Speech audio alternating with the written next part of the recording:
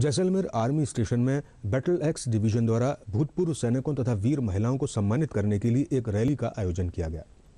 Rally का शुभारंभ major general Rakesh Kapoor, GOC battle axe division द्वारा किया गया।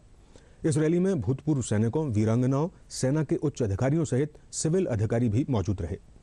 रैली के दौरान वरिष्ठ अधिकारियों ने भूतपूर्व सैनिकों, वीरांगनाओं और आश्रितों को संबोधित किया और उनके समस्याओं के समाधान के लिए विभागों से संबंधित अधिकारियों से चर्चा की।